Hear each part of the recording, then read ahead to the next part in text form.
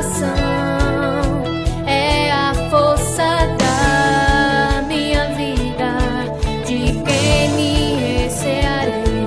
Ó Senhor, eu te louvarei de todo o coração e contarei as tuas maravilhas.